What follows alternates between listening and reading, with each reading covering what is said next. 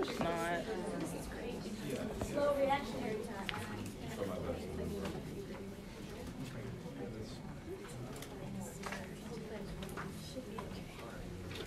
So I'm going to remind us of the fact pattern. Airplane mode. All right, so um, we had uh, the Fellows Christian Day School Incorporated, uh, located in Decatur, Georgia. It's a private Christian elementary school incorporated in South Carolina, and it conducts a great deal of its operational activities in offices in both Florida and Georgia.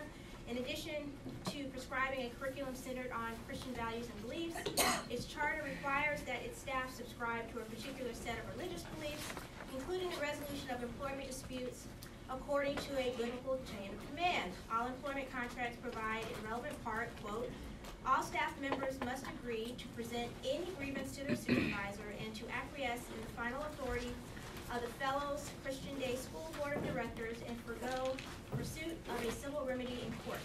Patty, who's 24 years old, was completing a paid internship at the day school. As a day school employee, she was required to sign the employment contract. The completion of the internship at the day school is a prerequisite for her master's degree in early childhood education at Georgia State. Patty has earned her undergraduate degree in child psychology as well from Georgia State. She has a substantial student undergraduate, sorry, she has a substantial student loans because her parents who live in Florida still claim her as a dependent on their taxes. As a result, she could not qualify for in-state tuition. She was born in Florida and lived there until she moved to Atlanta to attend Georgia State. Her college sweetheart and fiance, Brad, moved to North Carolina after earning his degree in finance. He has leased an apartment in North Carolina and has a position at Bank of America as an assistant branch manager. After proposing to Patty, he applied for a transfer to the Bank of America branch in Georgia. Patty has applied for several teaching positions in Georgia and North Carolina. She's all over the place. A month before graduation, Patty discovered that she was pregnant. Aware that this event would probably contradict day school's religious doctrine, she consulted a lawyer to determine her options. When the school learned that she had consulted an attorney, it terminated her internship for violation of its stated dispute resolution policy and because out of wedlock pregnancies came into direct conflict with the religious doctrine and set a bad example for students. Bad Patty. All right, so um, if you look at the sheet that I gave you, sorry I can't use the overhead, um, in determining whether or not there's subject matter jurisdiction, um, it's pretty obvious that there's federal question jurisdiction, sorta. Um, you see, you could argue both sides. Um, uh, the first one say yes because the First Amendment protects the right, uh, its right to terminate the plaintiff if the claims arise under um, 1331. So since it's a, a First Amendment issue, meaning religion deals with the First Amendment, that's a federal statute. You could make the argument that yes, you could get the case in federal court. Um, subject matter jurisdiction based on 1331 federal question. Again, because you're dealing with a uh, constitutional amendment or federal statute, which in this case is the First Amendment. Um, so of course what the defendant would argue. The plaintiff, on the other hand, who remember she initially filed her case in state court, so she wants to keep her case in state court. Um, so the plaintiff would counter that because the First Amendment is raised as an anticipated defense. Remember the Mullane doc, the Mullane um, case. Um, rather than the plaintiff in her complaint, it does not rise under the Constitution um, as a 1331 federal question um, issue. So I think the stronger argument um, is uh, the plaintiff's counter argument that uh, the First Amendment is, is an anticipated defense rather than um, the basis of the claim.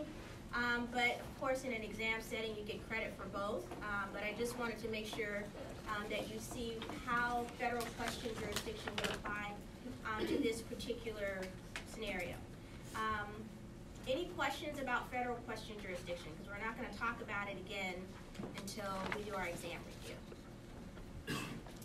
Okay, remember it can apply to a treaty as well. Yes, Olivia. Can you just like very, very briefly go over anticipated defense?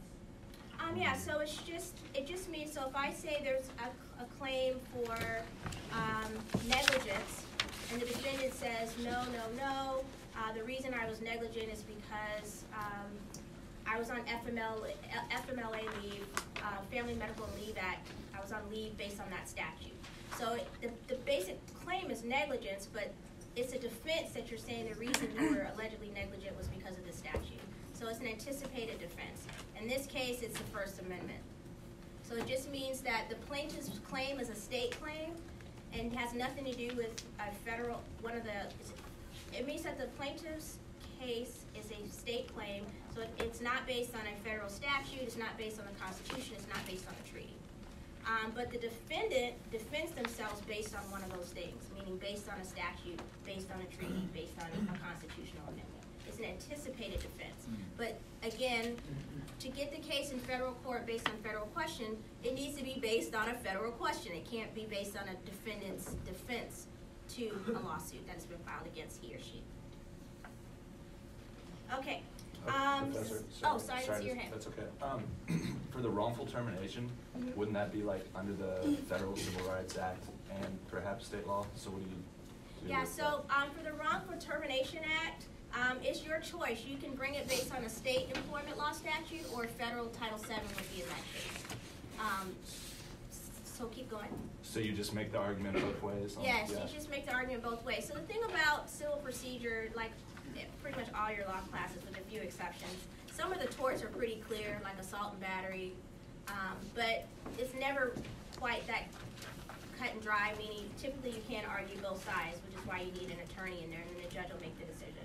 Um, but it's very rare that it's just gonna be one of the two. Um, again, not an essay in this class, so starting the first week in April, we'll just be doing practice multiple choice. I just wanna make sure you understand the context before you try to do a multiple choice question. If you don't understand the law, you're gonna get it wrong. Um, but for future classes, the classes that do have essays, they want you to do what he said, and they want you to have a discussion with them. They wanna see that you, and I'll get your hand in just a second, that you've considered all the options in terms of possible claims, counterclaims, different approaches. Yes. Um, this is more kind of general. Um, when we're answering these short answer questions, like I love the way this is set up with the different subheadings, but it's not written like full pretty paragraph style. Like, is this something that's acceptable to you when we One do our hundred percent final? yes. So if we have short answer, it won't be more than five questions, but I'll limit, like, you can only respond in five sentences. So it'll be literally a short answer. All right. Cool. Okay, diversity jurisdiction. Um, so we're gonna remember we have, it matters what these, uh, domicile or citizenship is of the parties, whether it's the plaintiff or defendant. Um, I'm not gonna go through and read that whole thing, but essentially, um, arguing that, uh, the defendant, which again is day school, um, is domiciled in South Carolina, um, because it's incorporated in South Carolina. Remember, businesses can have two domiciles, their place of incorporation or where their main operation is. If it's a small business like Cute Little Day School, uh, they're probably gonna have their main operations and place of incorporation in the same state. Um, it just depends. Um, and then as far as Patty is concerned, uh, the defendant obviously is gonna argue that Florida is not her domicile, um, because she doesn't live there, um, and she hasn't lived there for the past five years and for the other reasons that are listed. Um, and the same thing, so I'm not gonna spend a lot of time on the domicile, cause I'm just re- reading you the facts that are already in the fact pattern, you can read that on your own. But what's important is in trying to determine, um, diversity jurisdiction, you have to figure out their domicile. So you're always gonna look at the facts and make, uh, your strongest argument for whatever states, uh, are mentioned in the fact pattern. Here, we have Florida, um, North Carolina, and Georgia. Um, and again, you're looking at, um, where they currently reside and their intent to remain indefinitely. So the intent to remain indefinitely is where the argument comes in. Well, do they, does she intend to stay in Florida or Georgia or North Carolina? That's the fuzzy part. Um, that's the, not a clear, um, cut, clear-cut response or answer. So again, in determining domicile for individuals, it's, uh, where they reside and where they intend to remain indefinitely, and then the corporations have those two, uh, approaches. Um, and whenever we're trying to determine, um, diversity jurisdiction, so again, you're looking at the citizenships of the party, which is determined by their domicile, and, um, is the amount in controversy, um, over seventy-five thousand dollars. Here it's seventy-six thousand dollars, so the answer is yes, that requirement is met.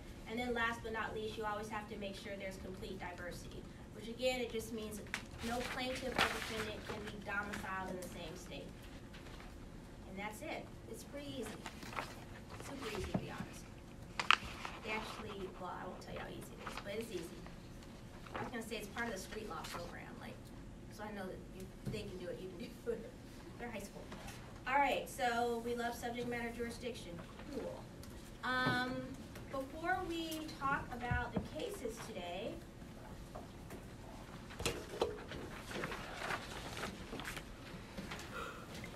I, um, so I'm I'm coordinating this program, right?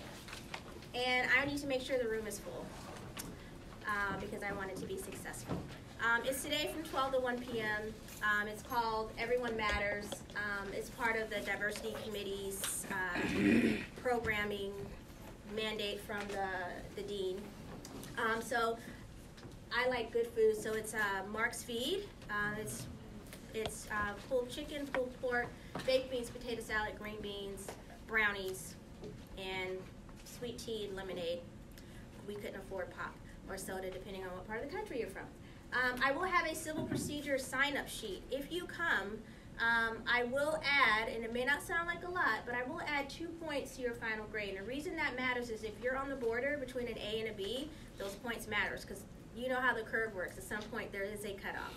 Um, if the room is completely full and you can't get in, then sign a sheet, and I'm still going to give you credit for trying. Um, but 12 to 1 today in this room. Yes, I'm desperate. Ding. Okay. So, Professor, I think we get out of contract at twelve oh five, can we be? of course, Yeah. late as you want to be. Okay. Just come on. I'll have the sign up sheet right there taped to that table. They have pie. He wants the pie. but the food might be, you know, it's going to, you know how that is, but I know you can't. Who's, who do you have for contracts? Hall. Oh, he's, he, he doesn't love me. He likes me. I would be like, I'll tell him to let you out early. All right. Um, Tabitha, are you ready today? Yes. Um, Oh, you still look flustered. Why? huh? Oh, I'm just going back to Iqbal because I had read for. So Tabitha, we're not. We're, I'm not going to ask you any Iqbal questions. Oh, okay. Yeah, and the only reason I'm asking you today is because you had the traffic issues last time, and so we really didn't get to. Yeah, no, you're yeah. fine. Okay. Yeah, so I'm no ready. Iqbal. yeah, you look flustered. I'm like, please don't be. It's like nice chi environment, right? It should be by now. Come on, you're almost done with the semester. You're two L's basically. Um, one L's in the flesh, two L's in the mind. All right. Um, so my jokes are just not going well today. It's too early. I'm okay with that. I don't take it personally. We'll laugh later. I'm going into competition this afternoon. I'm, so Oh, I'm that's like, exciting. To me, I'm competitive. Um, are we upset about the Louisville basketball game? Nope. For So the what? way Yeah, yeah. Yeah, the lady cards are still in it. Um, did who was the what was the Cinderella team? Murray State for a minute. Woo! did you go to Murray State? Yeah. Okay, I hope so.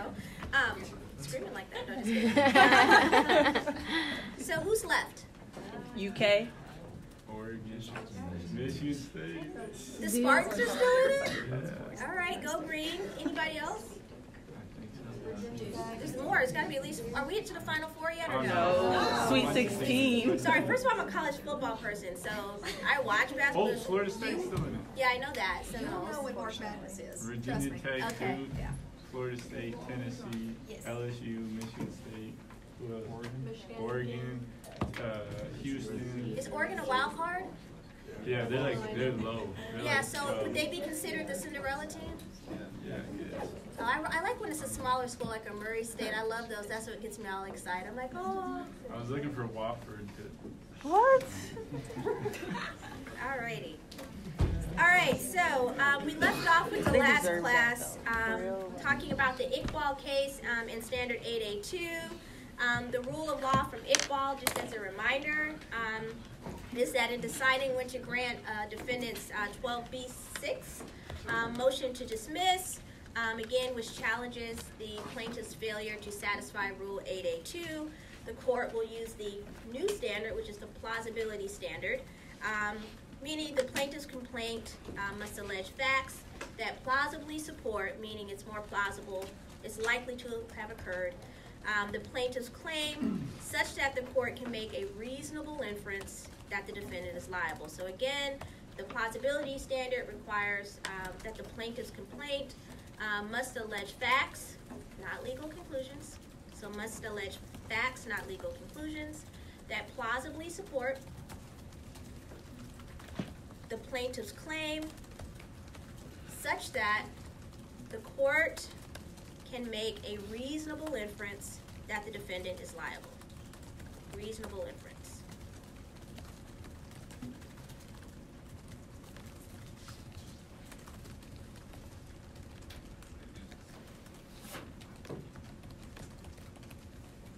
All um, so our next chapter. Oh, I should have left that up there. I didn't know that was up there. Sorry. Um, so our next chapter, um, chapter six, I believe, um, deals with additional pleading requirements that are required for certain types of cases. Um, in addition to the general plausibility standard that we saw in the Iqbal case, um, there's also some additional pleading requirements depending on what type of case it is. Um, so we're going to cover the Stradford case um, because it highlights um, some of these special rules under Rule 9. Um, and so today, oh, I wish I had my list. Keeps disappearing. So um, we've got Attorney Douglas.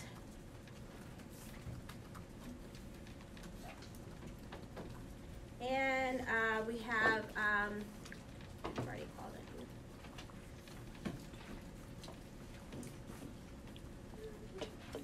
Have I called on you, Attorney Walsh yet?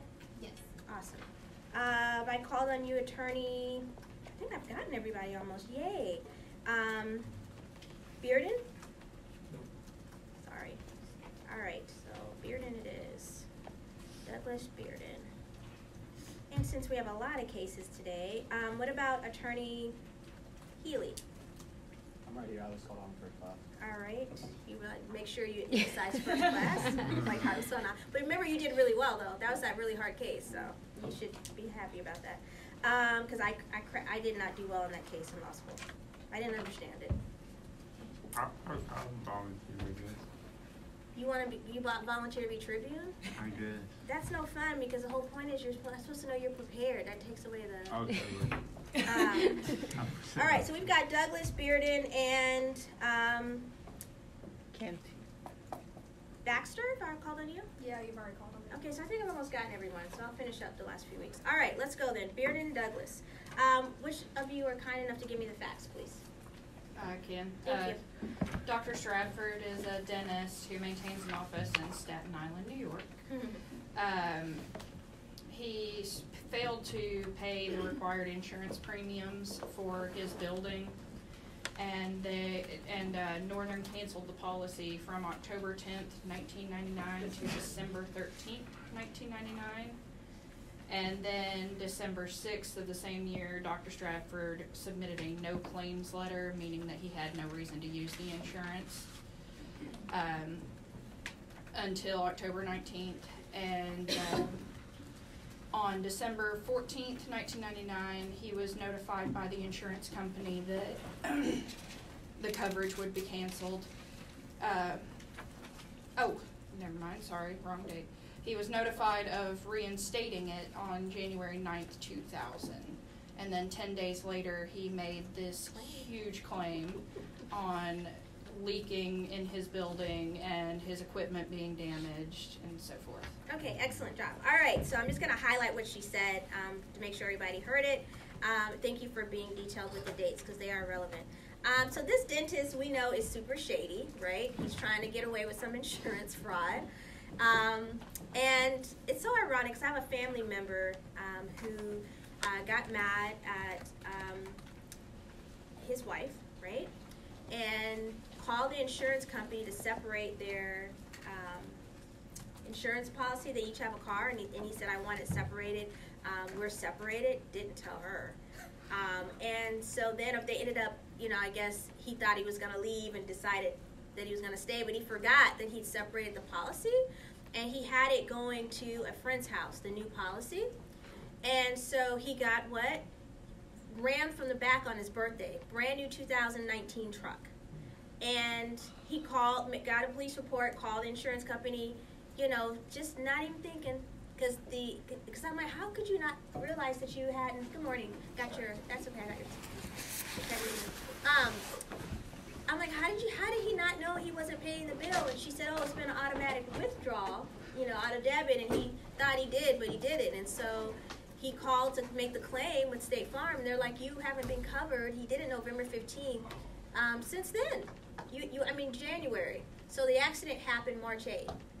And so he lies and says, I never canceled my policy. Da, da, da. So State Farm calls my cousin, the girl, and she's like, they left a message. What should I do? Like, you know, she's like, I didn't even know that he was planning on leaving me. She's like, should I? So now she wants to like screw him over, right? um, but yet they're in this happy space. So she's just like, she's all confused, and she's like, I gotta call them back. And so, you know, the insurance company called her, and she said, um, did you can't, did you separate the policies? Well, no. Um, did you know they were separated? No. Okay, so it wasn't, it wasn't your intention, so she didn't lie, because it's insurance fraud. And that's all they asked her, and she hung up. So now they're trying to decide, the underwriters, you know, basically he's saying it was a mistake, I never said to do that. Um, and you, why would you do that? I, I mean, we're married, why would I split the policy up? And they said, we have here in our notes, the customer service rep that took the call, that you asked for because you said you were getting separated. You were separated from your wife at the time. So it'll be interesting to see what State Farm does. Um, I feel like this, like this shady doctor, he's outside the claim period, um, and it's, you know, don't don't do the coverage. And so this dentist is like the shady cousin's husband. Um, he basically um, allowed a policy covering his business premise to lapse. Um, when the weather turned uh, poorly, the pipes in his office, um, as Attorney Douglas stated, uh, burst um, and damaged mo- most of his office, including some really, really expensive dental implants. And so he responded by asking the insurer to renew the policy, again offering written assurance that, listen, during the lapse, there's been no type of damage or incidents that have happened. And then, of course, right after the policy is renewed, Shady Dentist files a claim alleging that the damage occurred a month earlier than it actually had within the time period in which um, he was covered under the policy.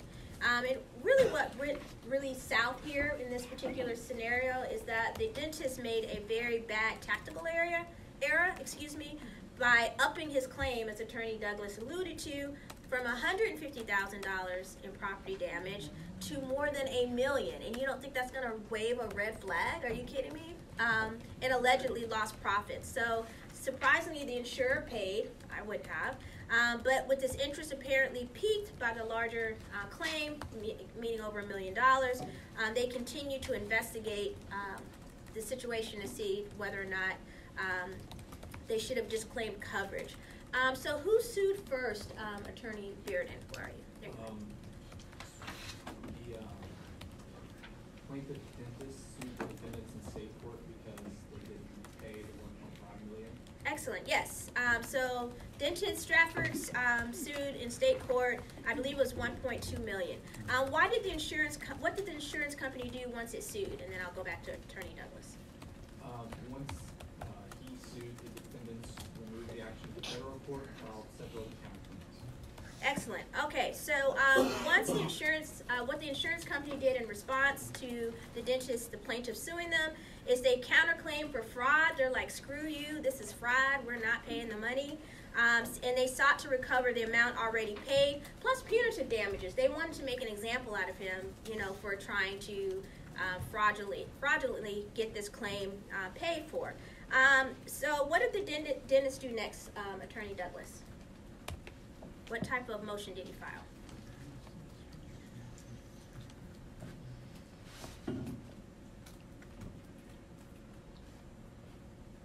So because you didn't brief, we're waiting on you to find it in the book. Yes, I'm assuming? I book briefed, I didn't get that part though.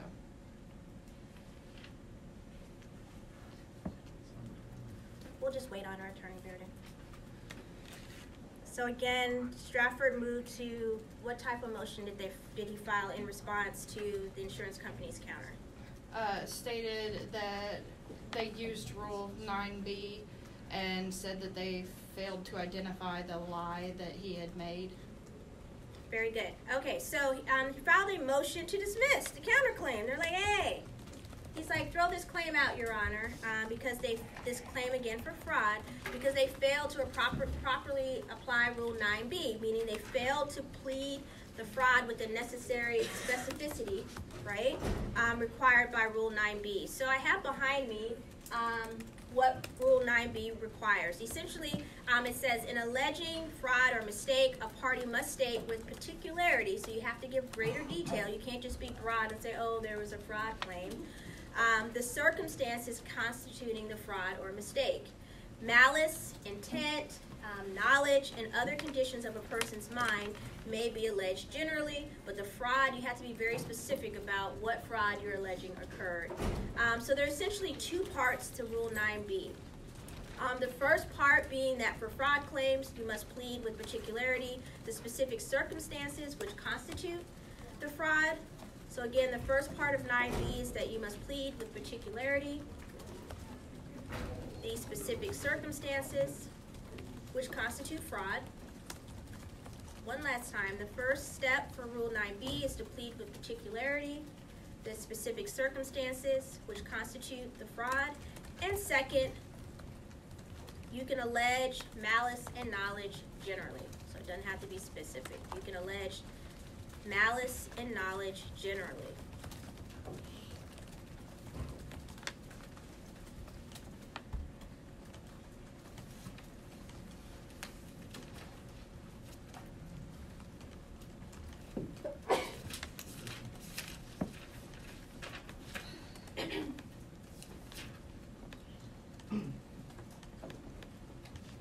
All right, so, um, 404, Attorney Douglas, um, according to the court, what does the first sentence in 9B mean? Um, I think it's on the last paragraph on page 404. According to the court, what does the first sentence in 9B mean? Meaning the circumstances surrounding the fraud must plead. It requires the time, place, and nature of the alleged misrepresentations. Excellent. So we like that because it's telling us what it means instead of being all vague. So it just means you have to state, as they stated, the time, place, and na- nature of the alleged representations. Um, in applying that standard to the facts, what does the court conclude about the defendant's counterclaim then, Attorney Douglas? And we'll go back to Attorney Bearden after that. Uh, they said it was insufficient under Rule 9B and had to be dismissed, but they gave them a period of time to amend the complaint. Now you're back in rockstar mode. You worried me. I was like, she's going to make me be an ASS, and I don't want to be. Because I need to know you're prepared. Excellent, excellent response. All right. So we know the court says um, that the defendant's counterclaim simply failed to identify a statement um, by the shady doctor that they claim to be false. Thus, it's unclear from the face of the counterclaims whether the defendants asserted that Dr. Stradford's claim losses were improperly inflated, inflated, or that the office was never flooded, or not during the term of the policy. So they're like, we need to know what specific fraud is it all three, but you need to state in the counterclaim with specificity what particular fraud happened, the time, place, and manner. So they really didn't emphasize the manner or the time, so it just wasn't clear enough.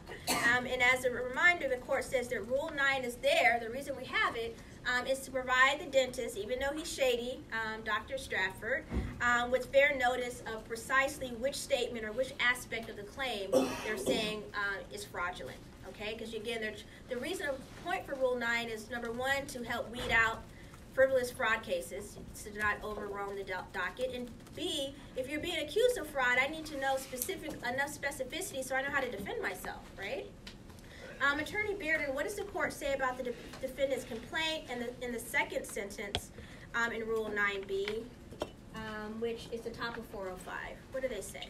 They basically say that, um, as to the second part of Rule 9B, it uh, does, is sufficient. Okay, I think yours perfect, but say it one more time. We're almost done. Um, basically that the second part of Rule 9B, um, the complaint is sufficient Excellent. And it's sufficient why? Because it states that a fraud has occurred. Excellent job. All right, so the court says the defendant's counterclaim um, succeeds in alleging that the facts, quote, and this is directly from your text, give rise to a strong inference of fraudulent intent.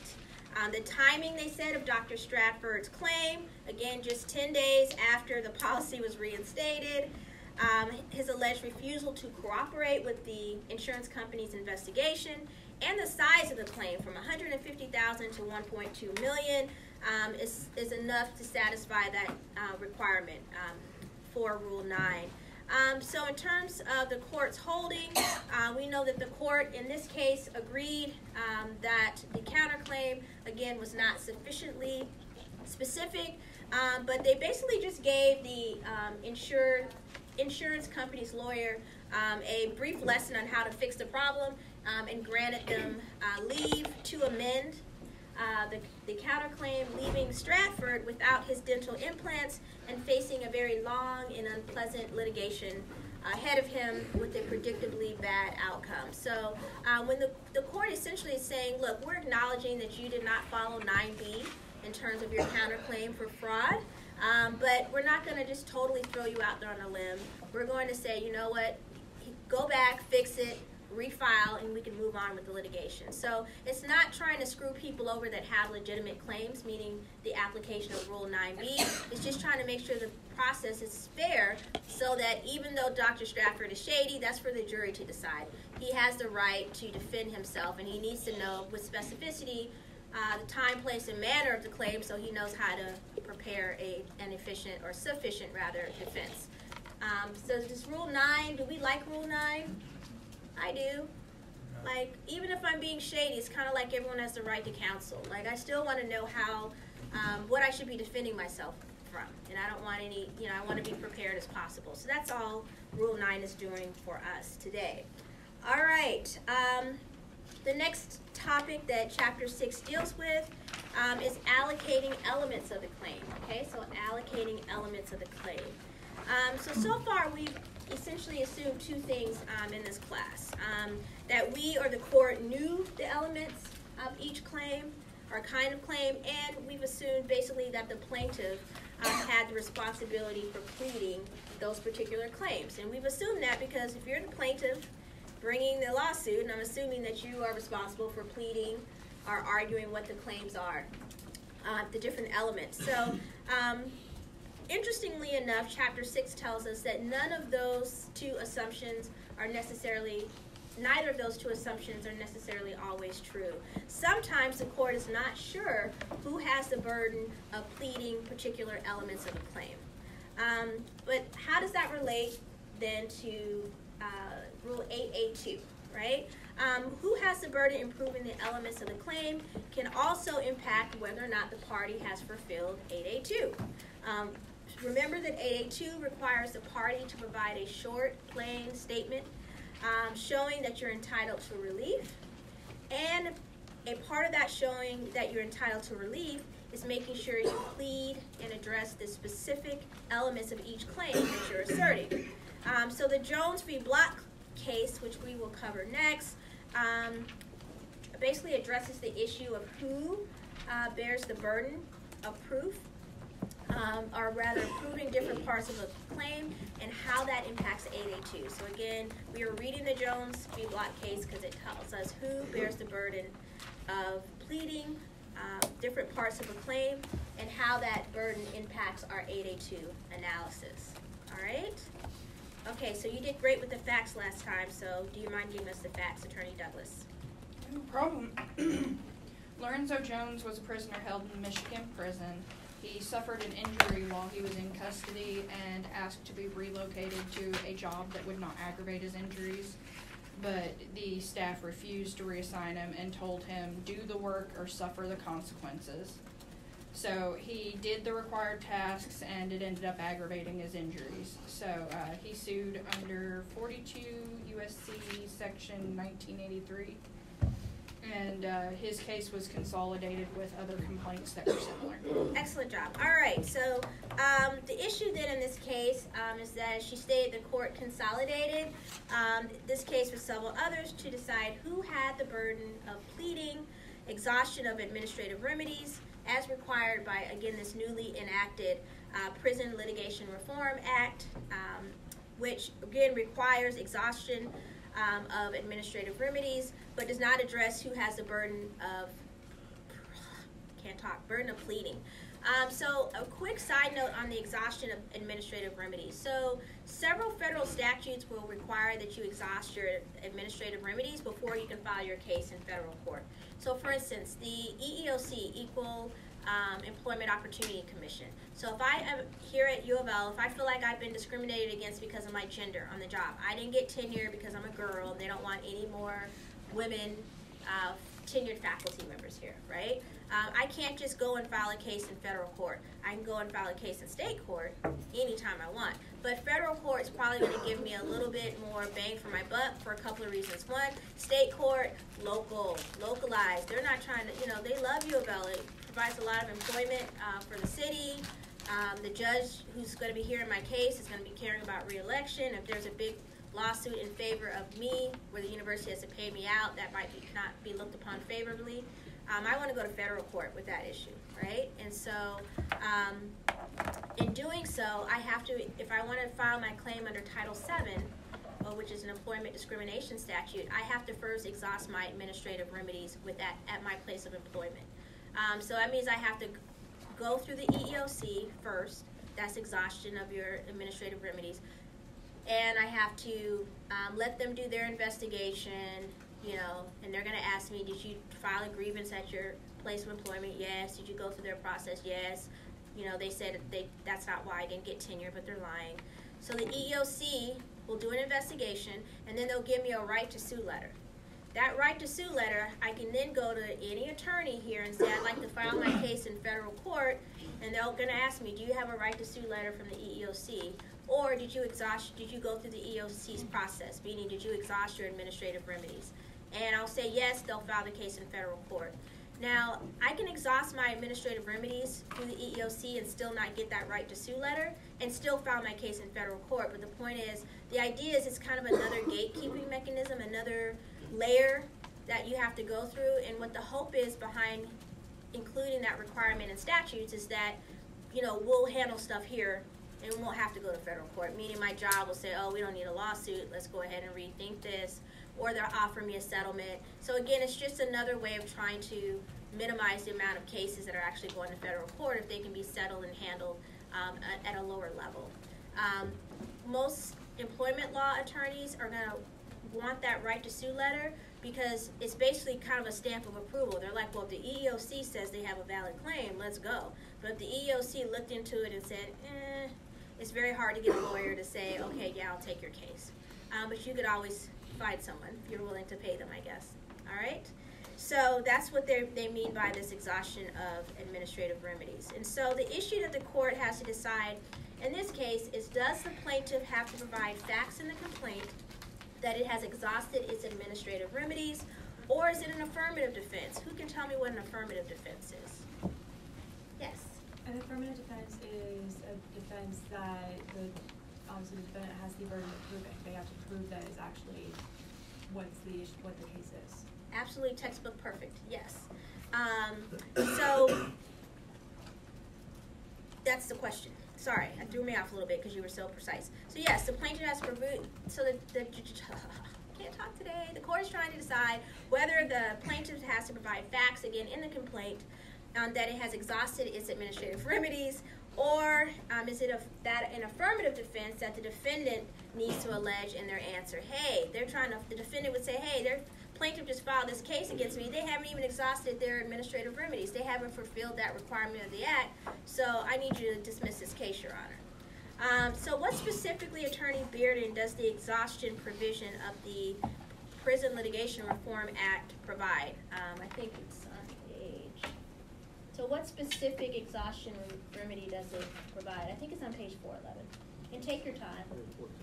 No, it's on four ten, yeah. Uh, it says that no action shall be brought with respect to prison conditions under forty-two USC section nineteen eighty-three or any other federal law by a prisoner confined in any jail, prison, or other correctional facility until such administrative remedies are, as are available, are exhausted. Perfect. And what does the court say is the purpose behind this Prison Litigation Reform Act? Why do we even have it? Uh, basically, they just don't want to flood the courts with. Excellent. All right. So yeah. So basically, just to address the large number of prison um, litigation, complaints filed in federal court. Um, to that end, um, Congress basically enacted a variety um, of reforms, again designed to help filter um, out some of the bad claims and facilitate a smoother process for uh, legitimate claims. And so, um, the key among one of the key features among these efforts by Congress um, was the requirement that inmates complaining about prison conditions again exhaust um, pris- their prison grievance remedies um, before initiating a lawsuit. 'Cause you know, every prisoner, not every, but most of them be like, I'm being treated poorly, you know, so they're like, we just want the legitimate claims here.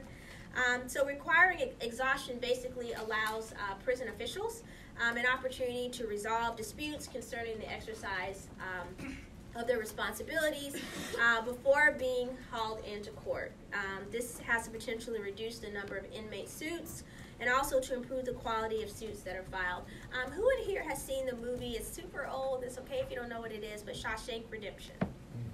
Oh no way! That's so cool. Isn't that like such a cool old movie? Like I love at the end. Every time I do this case, I think about Shawshank and how he totally screws the um, the warden over. But the, you can see why this Prison Litigation Reform Act is trying to keep out um, illegitimate claims so that ones like we saw that were obviously very legitimate in Shawshank Redemption can actually get to the court system. All right, so the court's holding in this case was what, Attorney Douglas, in reasoning? Uh, they said that most courts view failure to exhaust as an affirmative defense, and because claims covered under the PLRA are typically brought under a statute which does not require exhaustion at all, they found that, uh, they, that it would be, uh, beneficial to go with the majority of courts on this case, and that the defendant would have to prove that they had exhausted all of the other avenues. Excellent, excellent, and excellent. Um, so, any questions about this case? Any questions? Pretty clear cut? Yes. I just wanna make sure I got the, that I have the holding down correctly. So they ruled, they ruled that the burden of proof for failing to exhaust adminis- administrative remedies is on, that's to defend, that's for the defendants to prove, that's for the prison officials to prove. Yes. Okay. Excellent. All right. Moving forward. You look so fun today, attorney. Come on back. Like you're bored out of your mind. The material, not me, so I'm not offended. All right. Um, so moving right along, we're doing really well. Um, the last section covered um, is ethical limitations in pleading. So you're seeing all these exceptions to that initial initial Rule 8A. So ethical limitations in pleadings. And so um, Rule 11A provides, as you see there, and Attorney Olivia, is it Ringswami? Will attest that I will send this PowerPoint to you. She asked for it a little bit early, um, meaning with all this stuff in it. So if you see me moving along, I'll send the PowerPoint. I just wanted to get through today's class so that we could get through all the cases before I sent it out. Uh, but Rule 11A um, provides that every pleading, uh, motion, and paper filed in federal court must be signed by an attorney of record, or if a party is not represented by a lawyer, then by that party. Okay, does anyone know what Rule 11B provides? Can someone tell me what Rule 11B provides? Voila! It's long, that's why I'm emailing it to you.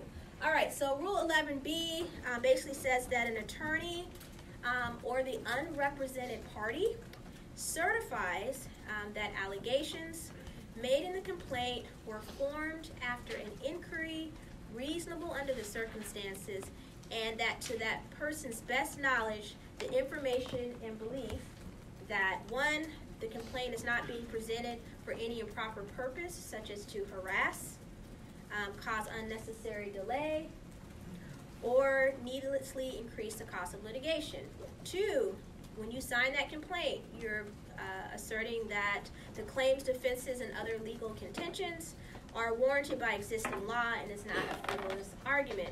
And then three, the factual contentions have evidentiary support. And then four, that the denials of factual um, contentions are warranted on the evidence or specifically so identified are reasonably based on belief or lack of information. So the whole purpose of Rule 11 is to, to promote a litigation environment where you have ethical pleadings. Don't plead, you know, frivolous, crappy, stuff just to get the case in court because you're trying to harass your ex because you're mad at them when you know that it's really you got them hiring an attorney, wasting their time when you know it's not a legitimate lawsuit that you're filing. So Rule 11 is trying to hold you accountable, and what they will do is, if, if you're found in violation, the judge can say, you know what, you're going to pay for the other party's attorney fees for wasting the court's time, and we're going to give you a fine for wasting our time as the court, and you're going to pay their attorney fees. Um, so Rule 11 is there to try to again weed out frivolous, pointless, inauthentic, unauthentic rather lawsuits. Um, and then lastly, there's 11C as in cat. C as in cat. Hopefully it's there. It is. Yay, the sanctions I was mentioning. All right. Um, provides that after notice and opportunity to respond, uh, the court will determine um, that Rule 11B has been violated, and then they can impose um, some of the sanctions that I mentioned before. Um, so essentially, what happens is um, a party seeking sanctions um, will give notice to the other party um, that look, if you don't change this or if you don't drop this lawsuit, I'm going to seek seek sanctions. Um, so you basically give a copy of that motion to the defendant, and you give a uh, the copy in, in court. Excuse me, um, and then you wait 21 days, and if they don't withdraw the complaint, the plaintiff. Ooh, did y'all just hear something go quiet? Are you guys joking with me, or you didn't hear like a buzzing sound stop? So I look crazy. Okay. I still hear a buzzing. Buzzing. So what just happened when I was talking to you, so you all don't start a rumor that I'm like I'm, I'm rattling here. But while I was talking to you, it sounded like when you're on the airplane and then your ears unpop, and so all of a sudden I went from like tunnel to this clarity, and I was like, did y'all hear that? So that's what happened, but that's fine. Um, so yeah, so basically Rule 11, all I care about, I don't care about the you know, knowing the number of days, because you can look that up in the statutory book when you're attorneys. It's 21 days you have to respond before, if you don't, then the judge will look at the motion and make a ruling. Um, I care about you know that that 11C are the sanctions that can be asserted if you violate 11A or B.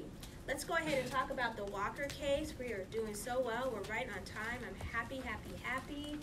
Um, Attorney Bearden, let's try you with the facts. Okay. So, in a dispute over anonymous trust fund, Maybe, I'm going to reframe that. Just tell me the basis of the lawsuit for the sake of time. Okay. Yeah, Um, sorry about that. Basically, What's Walker claiming?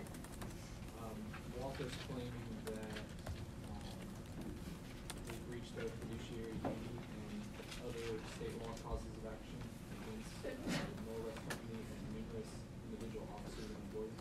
Excellent. All right, you're doing a, I mean, like judicial job, like Judge Bearden level. Just rock star. Do you like the content in the class? It's okay if you Uh, don't. Yeah, I like it because it's like code based almost, like, I don't know. Yeah. So you're gonna do corporate? I, I don't really know, but, uh, I don't know. I work at a CPA firm right now. Oh, well, that makes sense. Because I hated the class as a student. I like it now because I'm on the other side, but I didn't like it. I didn't. Under, I just thought it was, it was too vague in the beginning, so I lost interest and never kind of checked back in. So we know the basis of the lawsuit, you know, because Pennoyer, I'm like, what is that? Like, what is that crap? And I just checked out until the end. Um, the basis for the lawsuit is he stated plaintiff. Um, Walker claimed that the defendant bank and its officers had, as he stated, improperly handled the trust fund, so they breached their fiduciary duty. Uh, the plaintiff and his guardian, which is going to be Cynthia Walker, are both South Dakota residents. Um, and the defendant, Northwest Corporations, um, is a Minnesota corporation. So far, that means that we are good on diversity jurisdiction. Yay, we like that. Um, so, what then is wrong with the plaintiff's complaint? Uh, they said that the plaintiff and some of the defendants are citizens of different states. Yes. So they're implying that on the face of the complaint that there's no complete diversity, right? They're saying, hey, wait a minute, diversity is incomplete. Um, some of the defendants were also South Dakota residents, and so was the plaintiff. So that's what's going on here. So they're saying you're being unethical. You're trying to file a case in federal court based on subject matter jurisdiction, and there's not diversity of citizenship amongst the parties. So what does the defendant do when he realizes that there's something wrong with the plaintiff's complaint? Um, he does what every defendant would do. Uh, defendant pounced on that basic first year student mistake um, and sent the plaintiff a letter asking him to withdraw the complaint or you face sanctions. Um, so there's a student I used to have come and speak, but he's been too busy this semester, but I'm still begging him. His name is uh, Rudy oh, I forgot Rudy's last name. Ellis. Rudy Ellis, thank you. Um, Rudy loves to tell a story. In his first year um, in practice, that he found a complaint that someone um, filed and realized that they didn't have diversity jurisdiction. He's like, "Are you serious?" He thought it was a trick because it was too easy, so he went ahead and filed a motion for sanctions. And the person's like, "Screw you! There is diversity jurisdiction." He's like, "No, there's not." And so he went before the court and argued that they were really the plaintiff and one of the defendants were residents of Kentucky because their intent to remain indefinitely was here in Kentucky, and he won. He's like, I won. He's like, and this is like an older, an older attorney, and he's like, I totally won the motion. So he loves to tell the story. He tells it better because he lived it, but um, it does happen. Um, so we know the uh, plaintiff's response um, to the defendant saying, you know, withdraw the complaint or face sanctions um, is after the plaintiff's attorney, uh, Massey, failed to offer any explanation for the defective issues in the complaint. Um, the defendant, um, Northwest, moved to dismiss under Rule 12b1, um, lack of subject matter jurisdiction. Um, and so, uh, what does the court do then? So I had mentioned those rules 12, Rule 12, and we will spend a class talking about them. But Rule 12 are different reasons, again, that you can um, do a motion for dismiss, whether it's here it's lack of subject matter jurisdiction, lack of personal jurisdiction, um, and so on. And so um, the district court basically said, look, uh, we're going to grant um, the 12B1 motion to dismiss and sanctioned. So they put they gave sanctions to Attorney Macy under Federal Rule 11 uh, of a total amount of $4,800 in fees and expenses. Um, so the Walkers and Attorney Macy appealed the decision. Um, Attorney Bearden, what did the plaintiffs do wrong in this case? Uh, What did the plaintiffs do? wrong? Basically, they just, uh, didn't understand what, that it required complete diversity of jurisdiction. And furthermore, what else did they do wrong, Attorney? Wow, having a moment, don't say your name. Douglas. Uh, they didn't look into it at all to see where everybody was from. Um, What's the biggest thing they didn't do outside of look into it? Once they were put on notice, what didn't they do? oh, they didn't Yeah. even change it. Yeah, they, they it. acknowledged it, but didn't change it. Yes, yes, yes, yes. So they brought the complaint on his face, on his face, suggesting again this absence of um, this is what the plaintiffs did wrong, absence of jurisdiction, and then they failed to correct the mistake when it was brought to their attention. Who does that? That is like ridiculous. And so, um, what could the plaintiffs have done to correct the problem? It would have been really easy just to drop one of the individual defendants, right, and add them when um, you know, they saw it desirable. So they could have dropped one of the defendants to create complete diversity. And I know this is kind of like manipulative, but you can always add them later on after the suit has, which that's Civ Pro too. But you can be sneaky and kind of add them as an additional defendant later on. or they can intervene on their own via Rule 24 because if, if the outcome of the case is going to affect them personally. So if you have a co-business partner, let them intervene later on rule, via Rule 24 to get in the case, even though it's going to destroy diversity. There's like all these exceptions, but just know that it's that's why it's a chess game, and it's like who's who's going to outsmart the other person. So it's a lot of str- strategy involved until you get to um, the actual jury to view the case.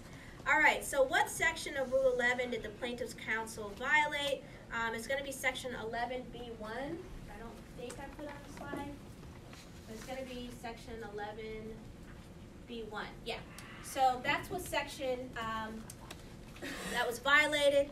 Um, section eleven B two, um, excuse me, that's the section that was violated. So it says, under the, under that provision, the counsel has obligated to do enough research to know, um, that the diversity jurisdiction alleged in the complaint required complete diversity. Um, eleven B two, as you have behind me, provides that the claims, defenses, and other legal contentions are warranted by existing law or by a non-frivolous argument. So this claim um, of diversity jurisdiction was not warranted by existing law because existing law requires that the plaintiffs and the defendants uh, be domiciled in different states. So it's 11B2 um, is the section of Rule 11 uh, that the plaintiffs' counsel uh, violated. Um, it's also probably a violation of 11B3, right? Um, to continue to advocate for diversity jurisdiction when the plaintiff's counsel became aware he had no evidentiary support um, for citizenship of some of the parties.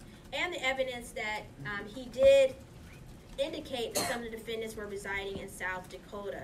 So he could easily point to nothing other than a hope and a prayer at this point um, that these defendants would turn out to be diverse to the plaintiffs. So he basically had no evidentiary basis from the beginning um, to believe that the allegation of diversity was likely to have evidentiary support.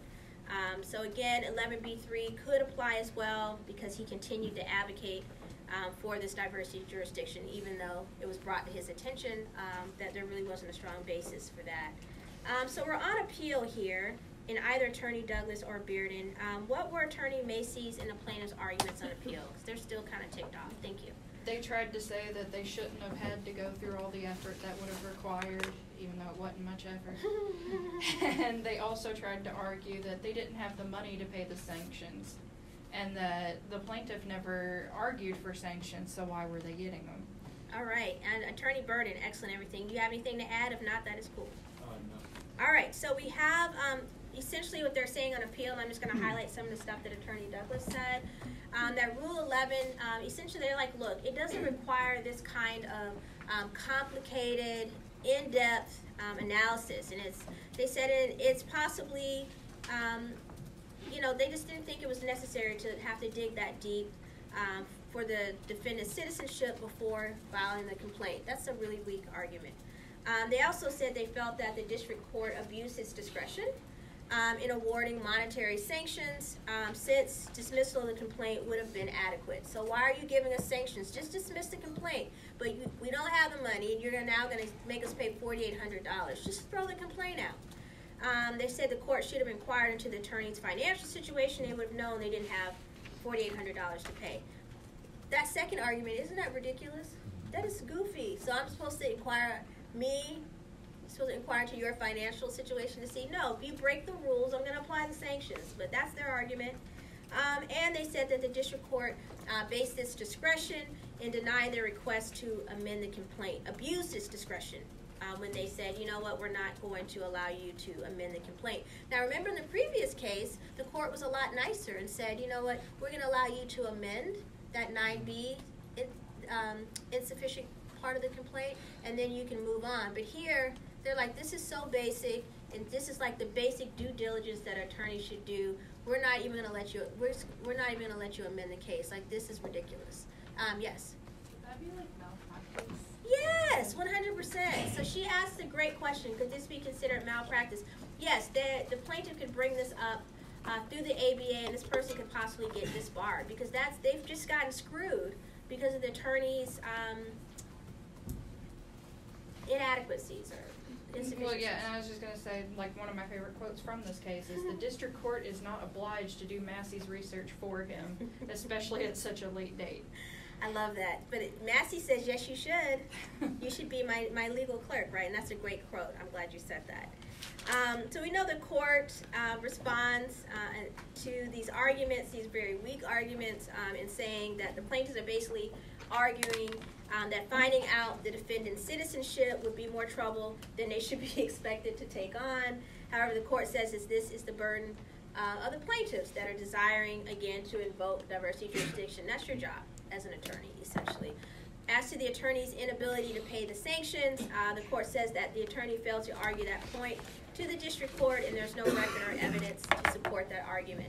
Um, I don't even think they should be able to argue they can't pay the sanctions because I think it's a good deterrence for you not to do that if you know you're going to get sanctions regardless of whether or not you can afford to pay them. I don't break the rules. It's kind of like if you don't want to go to jail, don't don't run the red light, you know, unless you're me. Um, just kidding. I don't run red lights. Those are, that's bad. Um, meaning I don't want to die. but yeah, so um, the district court they basically said they're not obligated, as Attorney Douglas said, to do the plaintiff's research or lawyering for them.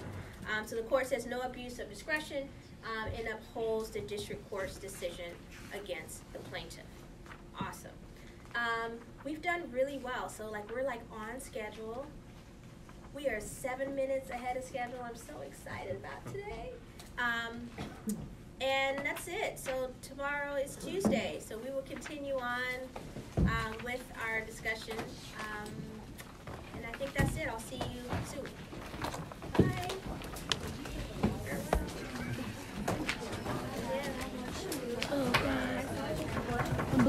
dress. Oh, the attendance sheet. Where is it? I got it.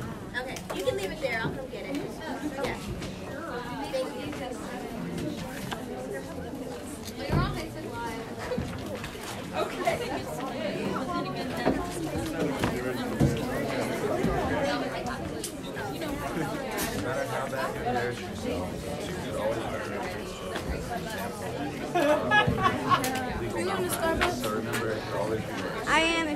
more? Yes. Yeah, I let's go then. Huh? I think the old man downstairs never. Yeah, remember that. To. I understand. Keep it.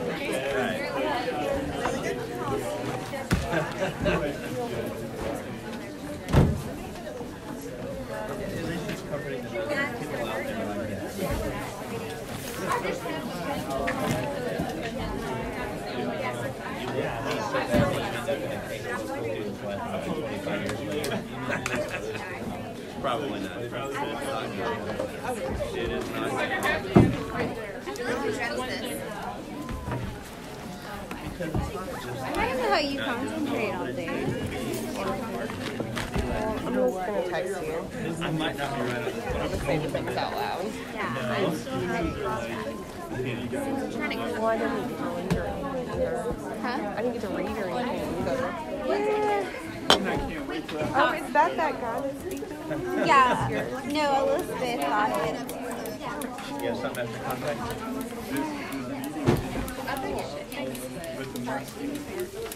I'm leaving my stuff here. Oh yeah? Then I'll do the same. Because the room's not open upstairs and are you No, carrying your bags over there? Ooh, extra credit. Not if you're not, like no, I, it makes sense. No, but there's no I like class. your red there. suit. I like. Is that an express also? I'm gonna go today because I need a, another suit. I gotta my wallet out my backpack. Yeah, I didn't bring any lunch. I told them. I'll do that. Make sure you don't forget your phone. Oh, thank you. And I wanted to thank you. Well, it's Think also about like that since we have to do Farm Act thing. I thought that was unfair. The PRLA? Yeah. Yeah, because it's not fair because prisoners already don't have access. Yes. So you're taking. It's in the notes. See, like, you